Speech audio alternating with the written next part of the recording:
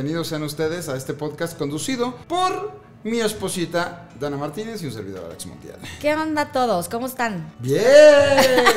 No te van a corresponder nada, mi amor. Aquí en este podcast platicamos sobre diferentes temas Ah. que tienen que ver con los contenidos, que tienen que ver con la familia, que tienen que ver con muchas cosas. Y sobre todo el equipo que hemos hecho tú y yo. El equipo eh, que hemos formado a la hora de ser cómplices en todo, ¿no? Somos esposos, somos amigos, somos padres y socios. Somos socios también. Y entonces parte de esta sociedad ha sido encaminar las cosas para crear un contenido atractivo para la audiencia y para los anunciantes. No es lo mismo, escuchen esta frase, no es lo mismo tener audiencia que tener influencia. Claro, eso es súper, súper, súper importante ¿Cuál es la diferencia? Como entenderlo. ¿Cómo lo entiendes tú, amor? La audiencia la puede tener y la tienen la gente que llama mucho la atención de diferente manera, Eh, ya sea de manera sexual, ya sea de manera verbal, ya sea de manera como que tienen muchísima audiencia. Así lo entiendo yo. Por ejemplo, cuando entrevisté, bueno, el escorpión entrevistó a Alfredo Adame, Alfredo Adame presumía que su video de las mentadas de madre tenía 20 millones de reproducciones. Ok. Eso es tener audiencia. Ajá. Te ven. ¿Pero Ajá. por qué te ven? De eso a que puedas estar orgulloso de, de justamente de ese contenido y que lo puedas hacer un negocio y que lo puedas este eh, monetizar, etcétera. Él dice que sí porque vende, vende las mentadas de madre por internet. ¿Sí las vende? Pues dice, lo digo, o sea, de que las vende, las vende, no sé si se las compran. Pero el punto es ese, ¿cómo, cómo puedes hacer eso más allá de, eh, también una chava puede estar moviendo las pompis en un TikTok eh, increíble y que tenga también millones de visitas y luego... Eso te va a dar una carrera. A lo mejor en ese momento vas a tener audiencia y a lo mejor a una, una marca le conviene anunciarse en tus pompis en ese momento.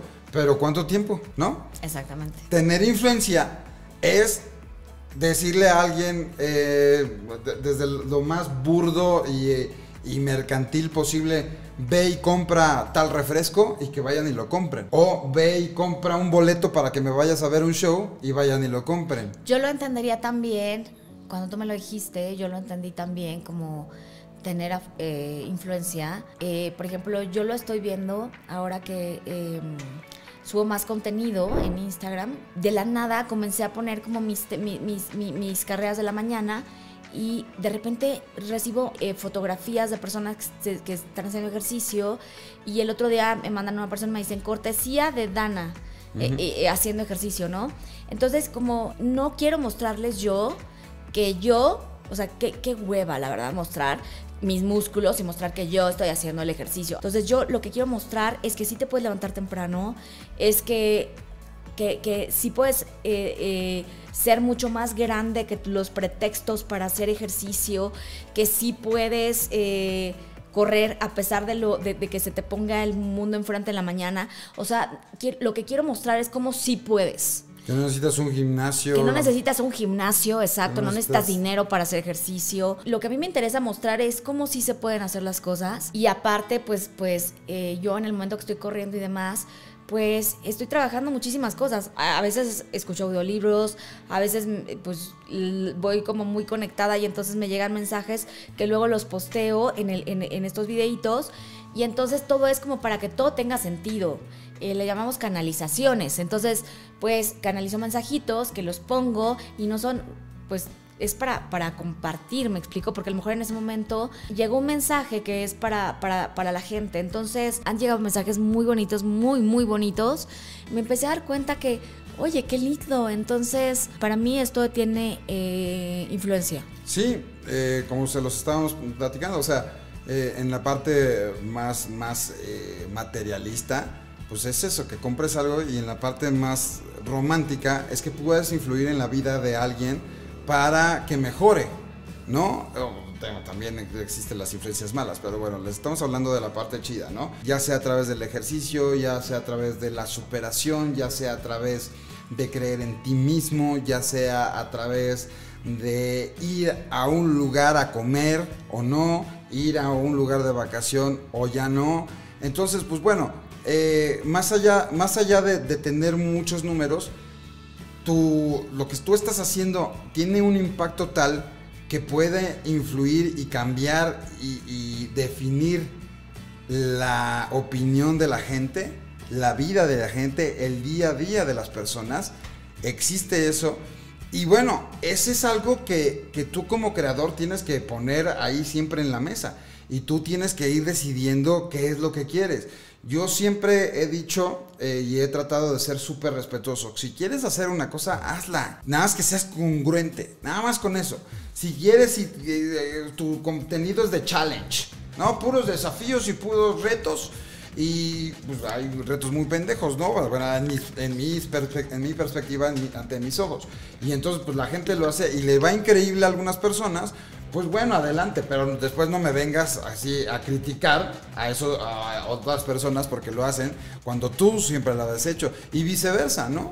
Si, si tu contenido es como intelectualoide y de repente te quieres este, subir al mame, pues pierdes un poco de, de credibilidad. Y entonces todos los días, además, pues somos humanos. Todos los días los que hacemos contenido nos vemos tentados hacer una cosa u otra, a eh, hacer un tipo de contenido o invitar a alguien o invitar a otro. Y entonces, pues, o sea, es una apuesta bien cañona. O sea, yo, yo de repente eh, te lo he dicho, o sea, cada quien va teniendo sus, propios eh, procesos. Una de mis formas de tener un proceso es consultarlo con mi pegrillo, que es este, Dana mi esposa, le digo, mi amor, ¿cómo ves si hago esto? Entonces ya, ella me da su opinión. Y sobre esa opinión, hay veces que tiene razón y tomo lo que yo considero que tiene razón. Y hay veces que pienso que, está diciendo cosas que, no tienen nada que ver. Muchas veces ha pasado, ¿no? Por ejemplo, con los invitados. Mm. Me has dicho de muchos invitados que dices, ese que nadie lo va a ver. Y boom. Y está mm. divertido y está chido. Pero hay otros invitados también que de repente yo digo, digo y y aquí es una confesión. Yo digo, no manches, estaría bien chido invitar a tal persona, pero ¿quién demonios me va a ver? ¿A quién le interesa, güey? ¿No? O sea, nadie le va a dar play a ese video y hay veces que desisto y no lo hago. ¿Estoy mal, mano?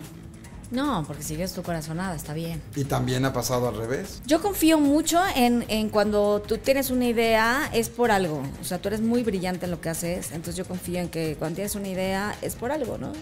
Por eso ya opté por no meterme en tus decisiones, porque sé que cuando, cuando te mueve algo es porque va a resultar. O sea, ejemplo, otro. Jordi, el niño polla, un actor porno de España que se va a subir conmigo al volante. También además tienes que cuidar qué, subes y qué no subes a YouTube porque en dos segundos pues te pueden banear y te pueden dar el strike, te pueden borrar el video y desmonetizar, bla, bla, bla. El punto es, ok, yo creo que esta historia está interesante y el hecho de entrevistarlo a él puede estar divertido porque me va a decir cosas muy curiosas. Un güey hispanohablante hablando sobre la industria del entretenimiento para adultos y está divertido. Y entonces digo, vente, güey, vamos a armarlo y sale un videazo, a la gente le encanta y no hace nada en el video pues de lo que hace en, su industria, en sus películas, pues no. Y ya no es divertido. No, fue divertido, o sea, no, no, lo hizo y entonces eh, terminó siendo un, video entretenido. ¿Ah, sí? Sí, sí, sí fue entretenido. O sea, pensé que como no se encuero ya no era divertido porque No, pero es que es que ese no es el chiste de, este güey, o sea, no tiene un cuerpazo, güey, ¿no? No es un galán, sino tiene...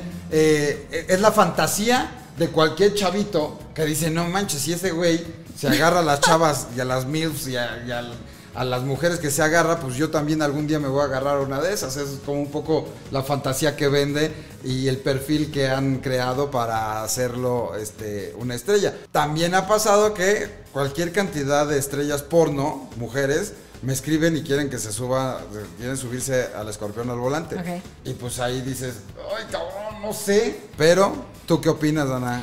A ver, Tú ahí, me has dicho no. Ahí yo ya, ahí yo creo que ya entra algo mucho más fuerte que son los valores y lo que ya hemos establecido para eh, lo que queremos para el personaje. El personaje empezó con eso. Y Exposexos. Empezó con eso y le fue bien y estaba chistoso y bla, bla, bla. Era muy irreverente y se valía en esa época también. Además, exacto, En YouTube, entre más escandaloso fuera la miniatura, más groserías pusieras, pues mejor le iba el video y monetizaba chingón. Ahora, ya no, no puedes usar ni siquiera una palabra, déjate una grosería, jamás, una palabra peligrosa. Claro. Como decir sexy. Un día me, me, me desmonetizaron un video de cine por decir eh, vampira sexy, que era justamente el, el- el concepto, una vampira sexy, ¿no? Este, con, con ropa entallada y demás. Y entonces el, el robot, el algoritmo de YouTube, eh, tiene, digamos que baneada la palabra sexy. Porque se puede ir a la parte del sexo y entonces me lo banearon, ¿no? Y ya tuve que poner la reclamación para que me regresaran la entrevista con Kate Beckinsale, una británica superestrella de Hollywood, ¿no? Y este, y bueno, al principio así era. ir Al principio sí era, al principio sí era, y es como comenzar, es mucho como con qué, con qué, con qué comienzas y cómo le vas subiendo el nivel. Entonces es irle subiendo el nivel a todo. Y tú decides al final qué hacer. Ni uno ni otro está mal. Depende, Alex. O sea, no es algo. Yo, o sea, no- cuando empezaste a hacer eso, por ejemplo, tenías unos encuentros y unos videos bien subidos de tono. Y yo aguanté vara muy cañón. Es como también subirle el nivel. Ahora puedo aguantar vara con Carla Sousa que me preguntan de Carla Sousa, no sé qué. Y puedo decir. Del el beso que fingimos. Sí, de, de, de cosas así. Y puedo decir, ¿sabes que con ellas no me molesta? O sea, con ese tipo de personas, como de. Porque también, porque sabes las intenciones y sabes que no hicimos nada. Sí, ya pero. lo platicamos, que, que no, o sea, eso que parece un beso, un beso no, no es un beso, ¿no? Sí, pero hay personas que de todas maneras eh, ya han hecho como que se- ellas, ellas, ¿no? ¿no? Han sido como más así. No tengo problema, pero con, con, con, ese, con ese tipo de personas sí. O sea, como que no, no me encanta.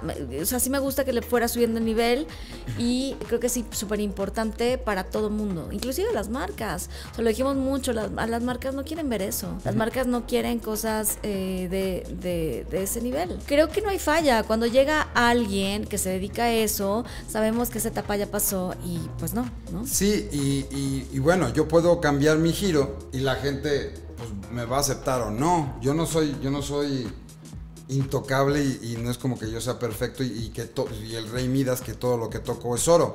No, güey, pues puede existir la posibilidad de que ahora a la gente no le guste eso. Pero ¿qué pasó? Le dimos ese giro y en el camino encontré el escorpión al volante donde no había eso y la gente le gustó. Donde subía otro tipo de personalidades, donde subía otro tipo de mujeres, donde subía otro tipo de hombres, donde, donde de repente nos hemos dado esos, esos, esas excepciones. No, pues sí, subimos a alguien súper eh, polémica como Niurka, pero no es la constante, ¿no? O sea, subimos gente de Hollywood, subimos, este, entrevisto y interactúa con gente eh, de, un nivel estelar, ¿no? Que al final del día se ve reflejado en visitas y en que las marcas acuden a relacionarse con ese tipo de contenido y está chido. Un ejemplo de lo contrario le pasó a, mi compadre Rayito de Brian Show. También, ¿te acuerdas el, el contenido que sacaba? Súper rudo, súper rudo, sexoso, cabrón.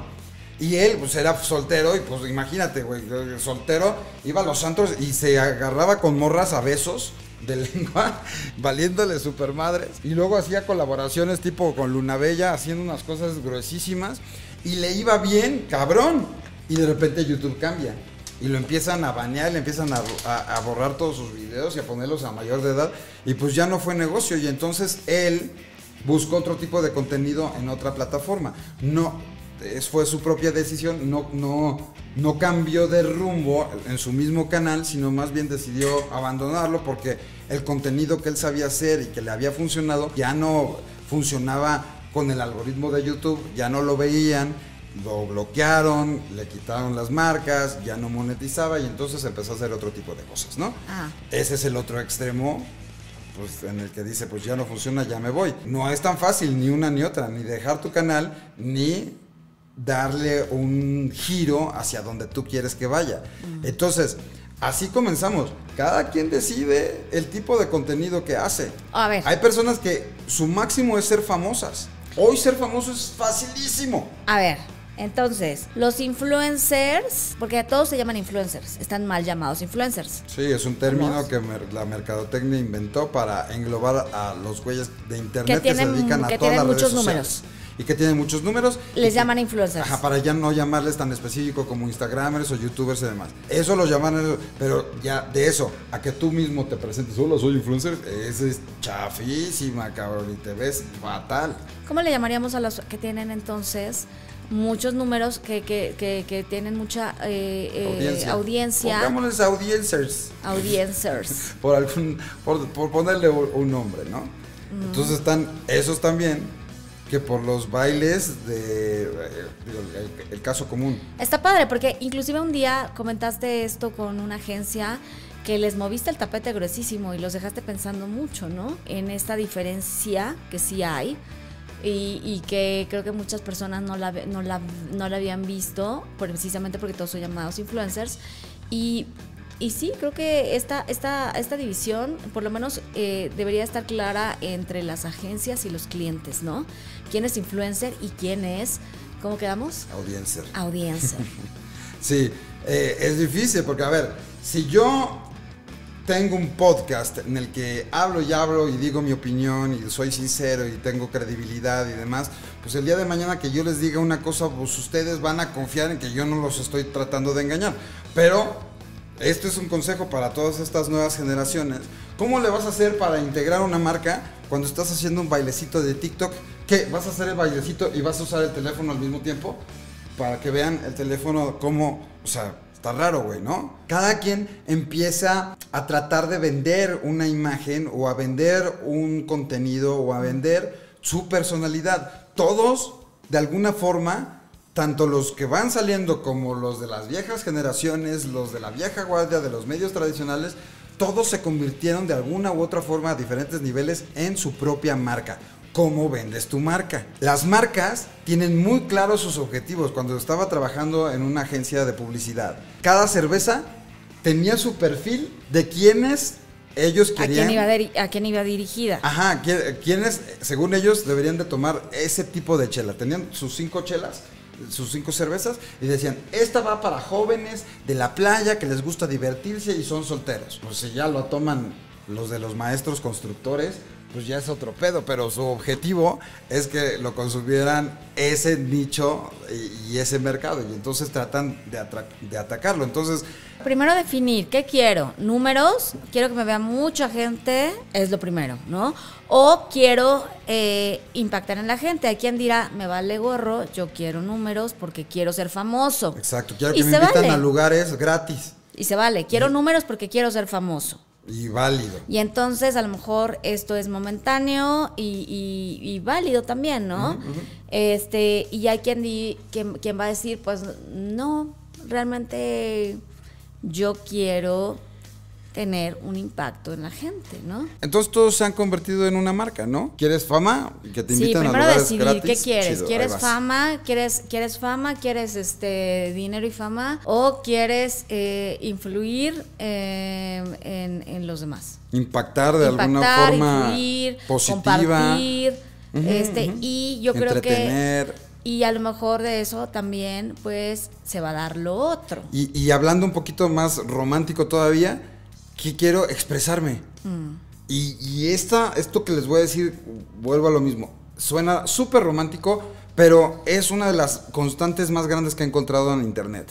Si tú eres sincero contigo mismo, si no tratas de inventar eh, a la gente un cuento de alguien que no eres, E imitar a otro. e imitar a otros, si tú eres sincero y conecta, eso hace que conectes con la gente, Sí. la gente te va a ver. Y no importa que no seas el mejor comediante, no importa que seas el mejor conductor, no importa que no seas el mejor en algo. Si tú conectas con las personas, yo he visto gente que no son tan buenos, pero tienen unos números brutales. ¿Por qué? Porque son sinceros y conectan con las personas. Exacto. Y entonces en esa parte romántica, si tú quieres conectar con ellos, si tú quieres eh, expresarte simplemente y no te urge ser famoso o no te urge ser millonario, pues bueno, la fama y el dinero, yo creo que de alguna u otra forma, tarde que temprano va a llegar. Claro. sí. Escucha muy romántico, pero si llega. pero si llega. No va a llegar en un mes, ni en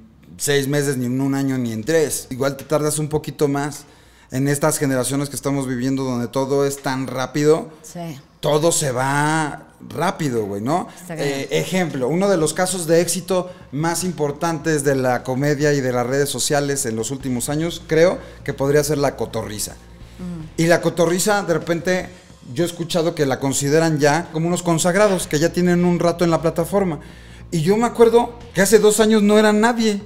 No era nadie en visitas. Vuelvo a lo mismo.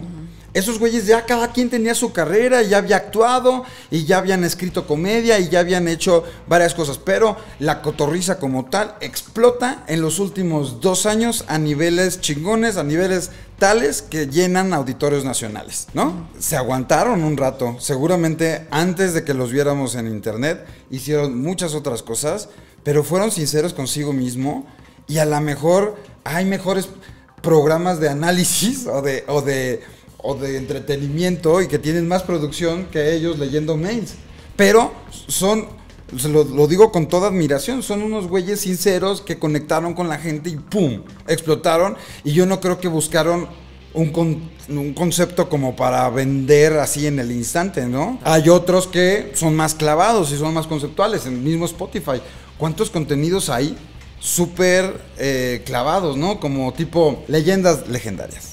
Unos cuates que son eh, indirectamente, digamos que mis paisanos de, de allá de Juárez, que, se, que empiezan a, hacer como radiografías de, de, cosas, de casos cabroncísimos, ¿no? Tipo asesinos seriales. Y entonces hablan sobre el asesino serial y su perfil psicológico y su vida y lo que hizo y lo que hizo antes y lo que lo llevó a super investigación. Y como dices, pues a lo mejor no lo vas a ver tú, no lo vas a escuchar tú, pero le están echando unos huevos cabrones. Si ellos quisieran eh, tener visitas, pues mejor que se dediquen a este de mujer casos de la vida real o, sí, o de algo como más escandaloso. Pero no, se dedican a hacer una investigación cañoncísima y la consecuencia es que se convierte en uno de los eh, podcasts más escuchados de, de, de, Spotify. Ahí hablamos sobre cuál camino quieres tomar. Uno a lo mejor es más tardado y más largo para llegar a la fama, pero al final del día va a ser más redituable. Y sí, vas a, va a ser el que puedes vender y del que puedes vivir. Oye, sí, pues está muy interesante eh, tener como este concepto bien definido y además yo también te, te, a lo que iba era de qué importante para estas nuevas generaciones tener cuidado con eso, porque los niños de repente creen que pueden hacer lo que sea por likes, por visitas y eso es muy delicado, o sea, tenemos que tener muchísimo cuidado porque los chavitos quieren likes y quieren visitas y están dispuestos a hacer lo que tengan que hacer. Los chavitos y los ruquitos, ¿eh? Y los ruquitos. Porque... No, pero los ruquitos no me importan. O sea, ellos, ellos deciden ya. Ellos ya, pues sí. ellos ya están suficientemente grandecitos para que les vaya mal o lo que sea. Pero son buenos ejemplos también para otras generaciones. Que no todo lo que digas es oro. Que no porque te creas aleccionador de vida que todo lo que tú critiques y la forma, las palabras que utilices están bien hechas. Uh -huh. Si tú te, te, pasas de lanza, pues, o sea, tienes que pensar lo que estás diciendo. No puedes insultar a lo idiota, no puedes estar teniendo diferentes acciones que piensas que no va a tener consecuencia nada de lo que digas o hagas, o que todo lo que digas y dices y, y, y construyes y muestras, piensas que como eres bien simpático, todo da risa y no te das cuenta que todo lo que dices, hagas y muestres tiene un impacto, positivo o negativo. Claro. Y entonces ponte a pensar qué estás haciendo por likes, qué estás haciendo por visitas y por tener audiencia y qué consecuencia va a tener en la persona que está viendo y qué consecuencia va a tener en ti, güey. Porque hay muchos que ya, o sea, la cultura del cancelamiento no es nada más culpa de la cultura del cancelamiento, sino de del libertinaje. Una cosa es la libertad y otra cosa es el libertinaje claro. para empezar a escupir todo lo que se te viene a la mente sin pensar en las consecuencias que podría tener. Finalmente, pues también, o sea, en la, en la televisión, vuelvo a lo mismo, yo respeto cañón. ¿Quién quiere salir en escote y en minifalda? Pues porque a lo mejor le funciona así para lo que quiere hacer, pero hay otras personas, otras mujeres que prefiere salir tapada y que se concentren más en lo que dice y no en lo que muestra. El contenido. Una cosa y la otra es igual de válido y tú decides hacia dónde llevar tu carrera. A lo mejor una persona de este que, que, que no se muestre tanta carne, pues va a dedicarse a ser conductora de noticias y la otra conductora del clima o de chistes o de, de de lo que sea, güey. O sea, tú decides, ¿no? Decides hacia, hacia dónde quieres llevar tu carrera. Y hay, hay personas que, no, los comediantes, ¿no? Pues a lo mejor no les importa tanto el físico y no se tienen que estar cuidando y matando en el gimnasio. Y a lo mejor hay otros galanes de televisión, de novelas, de películas, pues que tienen que estar bien mamados. Pero a lo mejor si te quieres dedicar en lugar de las telenovelas al cine, pues no te piden que estés tan sabroso, tan sabrosa, sino que sepas actuar cabrón y entonces inviertes tu tiempo en ser mejor actor o actriz, ¿no? Claro. Bueno, entonces el chiste creo que es eh, para, para, las personas que están eh, haciendo contenido o para las que quieren hacer contenido, pues definir qué clase de contenido quieren hacer. Para las personas que ya están haciendo contenido, replantearse y observar qué contenido están haciendo. Por qué camino van, se vale cambiar o se vale seguir en el mismo. Y para la, parte de los niños, de los chavitos, sí creo que hay que tener mucha, mucha observación ahí, pues para detectar qué onda con mi hijo, qué quiere, qué, qué quiere hacer, quiere, quiere ser influencer o quiere ser audiencia. Y yo creo que como papá yo me sentiría mucho más tranquila si quieres ser influencer. Tienes que cuidar mucho esos contenidos que están haciendo tus hijos. Es bien fácil eh, caer en, en, la confusión, ¿no? Que piensan que si tienes la libertad, pues puedes decir lo que sea, ¿no? Inclusive, yo, o sea, güey, yo lo que hago eh, en mi personaje, pues es decir muchas sandeces, pero ni tan sandeces, porque es nada más el cascarón. Las formas son tan importantes como el fondo. A lo mejor estoy diciendo palabras altisonantes, pero estoy diciendo una reflexión y estoy tratando de que exista justamente eso, una una risa a través del comentario sarcástico y a través de un comentario que te ponga a reflexionar al final del día. Entonces, vuelvo a los amigos de mi esposa, el para qué, por qué, etcétera, ¿no? Entonces, cuando me hacen entrevistas o me piden conferencias o también con mis hijos, ¿no? Pues a ver, ¿qué es lo que quieres? No necesitas decir groserías, no necesitas ponerte a bailar, no necesitas hacer nada que no sepas hacer y que no te sientas a gusto. Inclusive con mis propios invitados de repente dicen, pero ¿qué tiene que ver o qué tengo que ver yo con el escorpión? Una persona, hombre o mujer, lo que sea. no importa, cabrón, porque el chiste no es que te conviertas en el escorpión. El chiste es que tú des tu contenido y yo a través de esas formas distintas de enfrentarme a ti y de preguntarte y de ser sarcástico e irónico y con ese humor negro, tú desde tu perspectiva contestas. Y eso es lo que funciona. No necesitas mentar madres, no necesitas decir nada que no hayas dicho, necesitas ser tú, el verdadero tú. Y eso es lo que te va a funcionar, porque ha pasado justamente con los invitados que hay grandes sorpresas que dicen, no manches, no me la imaginaba así, qué buen pedo es. y otros que dicen, ay Forzadísima, güey. Ya huevo quiere caer bien. Sí, que sabes que se están cuidando cañón, ¿no? Pues bueno, buen, buen, buen tema, ¿no? Salió Así es, está buenísimo. Así que bueno, pues a replantearse qué queremos. Eh, Dana tiene su canal y ¿de qué hablas en ese canal? ¿Y cómo se llama, mi amor? Se llama Reconexión y hablo pues de temas de espiritualidad, de familia, de em, temas holísticos, de todo un poco, de todo un poco, crecimiento personal y de eso hablamos. Perfecto, mi amor. Eh, que te sigan ahí también en las redes sociales que es Dana Reconexión, ¿cierto? Dana Reconexión en Instagram, que es el que ahorita estoy usando porque no, no, no puedo usar tantos a la vez. Ya saben, las redes sociales de un servidor, arroba Alex El video del podcast se, se sube a la lata y bueno, también en el canal de Spotify también lo puedes encontrar. Pásenla chido, suscríbanse y nos vemos en el cine. bye. bye.